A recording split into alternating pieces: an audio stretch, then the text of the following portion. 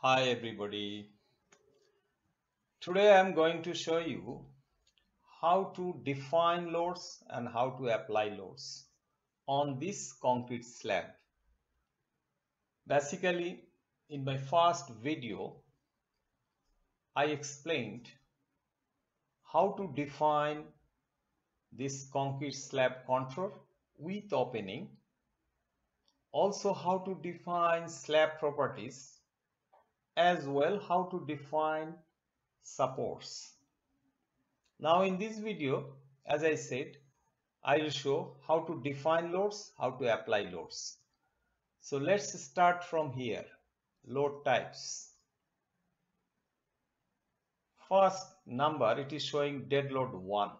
So click add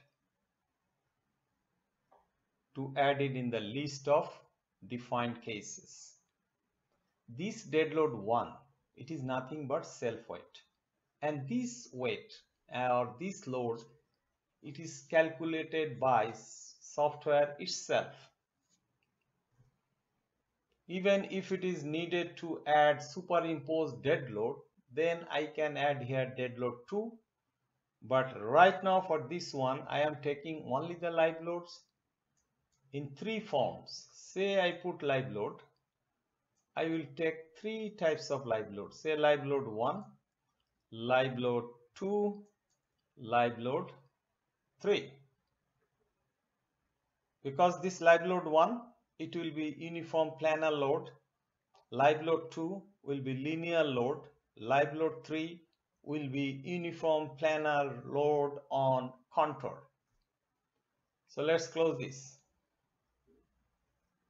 So select here live load 1. Load definitions. Surface. Go for uniform planar load. Say I am taking here 4.5. It is negative because direction will be down opposite of this z direction. Add it. By touching this slab, I can add the loads or I can put this number 1 here. So apply it. So I got the loads. Now this 4.5, we call it as load value descriptions.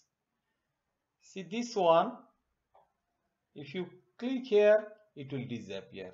If you click again, it will appear. Now we have to go for live load 2. What is that? This one.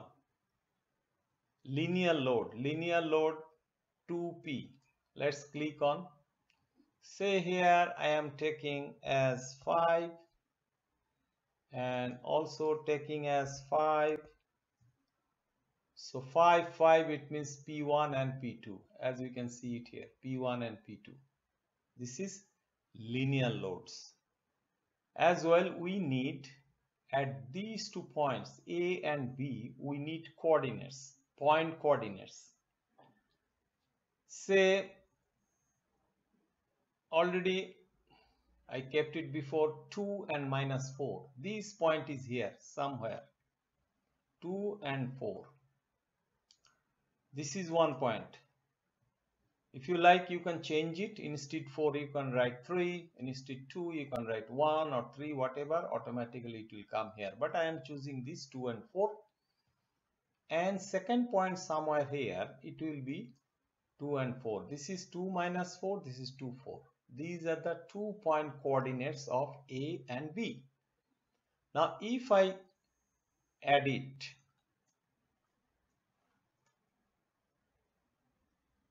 look at already it is here now. This is minus 5 now I am going for say this one. As I said uniform planar load on contour. Click here also I need to change this because already LL2 is here. It will be for LL3 third one.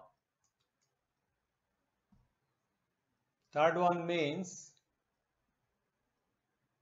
say I am taking here 6 and contour definitions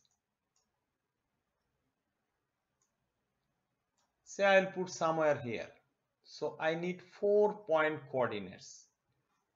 So what I'll do say first I am taking this one 40 minus 40 I got it. Again another point I am taking here as minus 4 2 got it. Now 1 and 2 now I need here 1 points so minus 6 2 say here I will go for the minus 6 2 add it.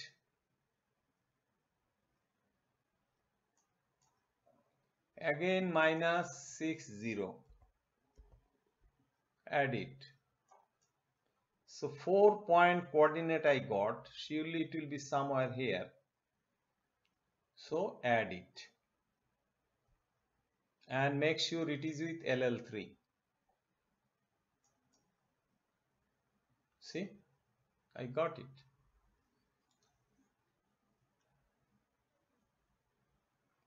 Now we are done in load definitions. Close it.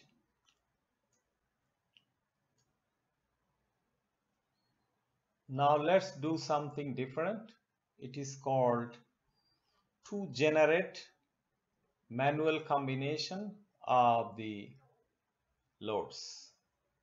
So how to do that? Say loads, manual combinations this is combination number 5 leave like that because it is coming according to serial of the load already we have 4 up to here so so it is 5 leave this ULS combination 1 so press ok. Got it. Now here I need only live load. Click on live. So here only live loads. As well for live load I need this factor definition to be changed.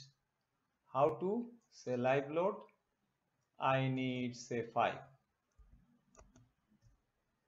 change it live load changed close it automatically this one will be changed see 1.5 now if I click here to bring this on this right hand side list of cases in combinations as well with this factor. So I got it. This is for combination 1. Apply it. Got it. Now let's go for the new combinations. So click on new. Think of this will be as it is. Only combination type this one I will put it SLS press OK. Now this factor leave as it is 1 because this is SLS now these three click here bring it to the right list of cases in combinations so we got combination 2 also. So we are here. Apply. So we are done in generating manual combinations. Close it. If you look at here, you see dead load 1, live load 1, 2, 3, combination 1 and combination 2 if I put here combination 1 it looks like that. Say if I click here you see all loads appears here. This is actually combination 1 if I bring here combination 2 that load will be here as combination 2 so I think we are done for this video So that's all for this video. In the third video, I shall show how to run an analysis and explore the results.